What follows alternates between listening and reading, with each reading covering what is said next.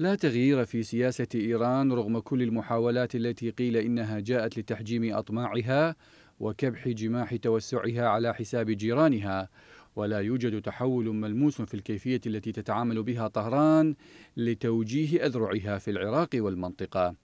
معهد واشنطن لدراسات الشرق الأدنى قال في تقرير جديد له إن الميليشيات المدعومة من إيران في العراق التي شنت هجمات بطائرات مسيرة على السعودية في عامي 2019 و 2021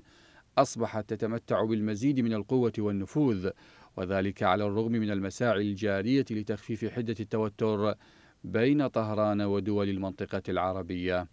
وبحسب المعهد فإن العلاقات الدبلوماسية المتجددة لم تنجح حتى الآن في تهدئة التوترات في مياه الخليج العربي. فعلى المدى القصير قد تسهم هذه العلاقات في إيقاف هجوم مباشر من قبل إيران أو وكلائها إلا أنها لن تمنع طهران من اتباع سياسات إشكالية أخرى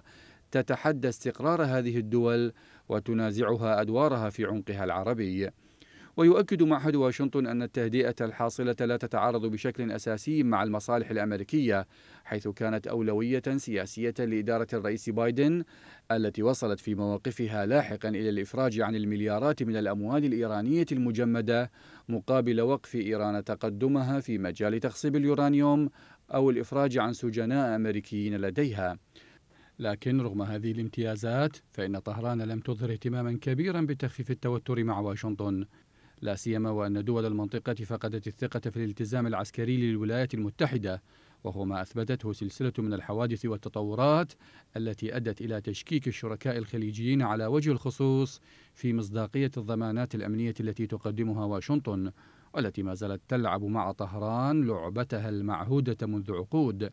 ضمن صراع الطرفين على المصالح والنفوذ الذي يأتي على حساب دول المنطقة وشعوبها.